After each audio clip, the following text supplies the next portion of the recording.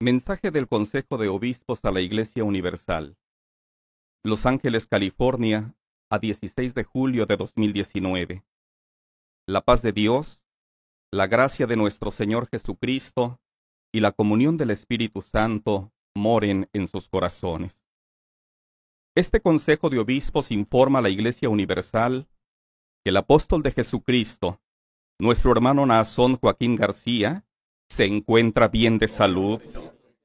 Y el día de hoy, congruente con la enseñanza de respetar las autoridades e instituciones de cada país, ha comparecido ante un juez de Los Ángeles, California, para que en esta audiencia se fijara la fianza respectiva a fin de que enfrente un proceso en libertad. El juez ha decidido no otorgar fianza, sin embargo, el equipo legal apelará esta decisión ante una corte de apelaciones, a fin de que se revise la resolución y se modifique. A la Iglesia Universal se le informa que, si bien esta decisión no es la que esperábamos, debemos ser conscientes que el proceso legal continúa. La decisión que el juez ha tomado el día de hoy solamente ha sido con relación a la fianza, es decir, en el derecho aplicable en los Estados Unidos de Norteamérica, hay una etapa previa al juicio, la cual es de la fianza, y en la cual se decide si la persona sale para enfrentar su proceso en libertad o no. Durante esta etapa, la etapa de la fianza, en el sistema jurídico de Estados Unidos no opera el principio de presunción de inocencia, y además, a fin de fijarla, de decidir si se otorga o no, como sucedió el día de hoy, el juez acepta cualquier dicho o rumor. En esta etapa preliminar al juicio, el estándar probatorio que exigen los jueces es muy bajo. Incluso por ello se le denomina técnicamente causa probable, lo que significa que con elementos mínimos, no pruebas, se permite a la Fiscalía llevar a una persona a juicio. Dicho de otra manera, los jueces presumen la buena fe en la actuación de la Fiscalía, y en este caso de parte de la Fiscalía General hemos recibido descalificaciones, prejuicios e intolerancia por motivos religiosos. Por su parte, el juez no mostró imparcialidad para juzgar sobre el otorgamiento de la fianza, pues incluso impidió que los testigos declararan a favor del apóstol de Dios por lo que advertimos un posicionamiento del juez a favor del fiscal que acusa al apóstol de Jesucristo. Queremos puntualizar que la decisión emitida por el juez el día de hoy no implica culpabilidad. Mucho menos quiere decir que el caso se ha perdido. Una acusación o dicho no es una prueba. El juicio aún no inicia. Estamos aún en la etapa de la fianza. Nos preocupa que se está evidenciando que este es un caso fabricado por lo siguiente. La inclinación que se mostró a favor de la Fiscalía. El impedir el testimonio de los testigos aportados por la defensa del apóstol del Señor. El hecho de no permitir al apóstol de Jesucristo llevar su defensa en libertad.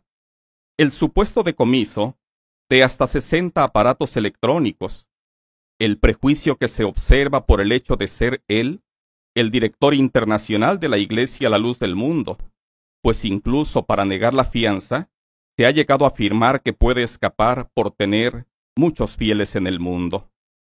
La Iglesia sabe que la lucha del apóstol de Jesucristo, la cual es también la lucha nuestra, se lleva en dos ejes, el legal y el mediático, por lo que al igual que en el año de 1997, estamos viviendo la denostación contra la persona del apóstol de Jesucristo, la crítica mordaz hacia la iglesia, la burla ofensiva en torno a nuestra fe, la aparición de señalamientos falsos y hasta la sentencia condenatoria anticipada de los medios de comunicación. El despacho legal que lleva la defensa ha explicado que todos estamos expuestos a un ataque cibernético, por medio del cual personas extrañas se infiltran y contaminan nuestro equipo de comunicación, teléfonos, computadoras, tabletas, etc., con el objetivo de atentar contra el buen nombre, la buena imagen, la honra y frecuentemente el patrimonio económico y moral de las personas. Por otra parte, los abogados defensores han señalado que, en algunos casos, puede existir la intencionalidad de diseñar estrategias específicas para destruir instituciones, atacando el prestigio de sus directivos más relevantes. Este tipo de acciones se conocen como ataques informáticos, en los que se emplea la tecnología para dañar a personas o instituciones, como está sucediendo con el apóstol de Jesucristo, quien ha sido objeto de un ataque cibernético cuyo propósito es dañar el trabajo de unidad de la iglesia del Señor. Sin embargo, la iglesia, la luz del mundo, se mantiene firme y unida.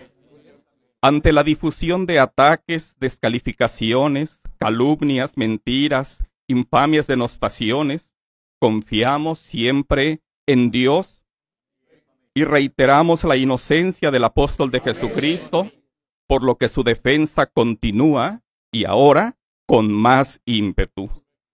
Es verdad que a todos nos duele no poderlo ver en libertad.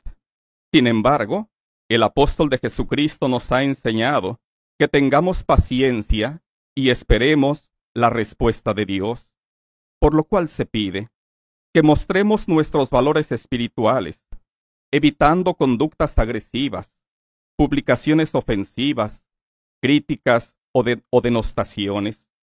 Antes bien, es deseo del apóstol de Jesucristo que nos unamos en oración, que redoblemos nuestro cuidado en nuestra asistencia a las oraciones, que continuemos con nuestra preparación para la magna celebración de la Santa Cena 2019, habiendo ya recibido la carta de invitación para este magno evento. Hasta el momento, damos gracias a Dios por su misericordia y seguiremos orando. Por lo pronto se suspenden las oraciones ininterrumpidas y volveremos a nuestras consagraciones ordinarias.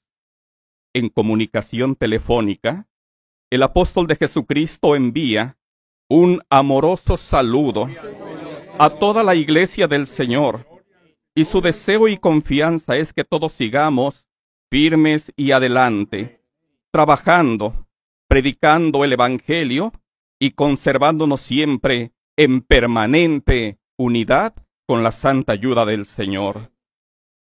Dios los bendiga atentamente, Consejo de Obispos de México y Consejo de Obispos de Estados Unidos de Norteamérica.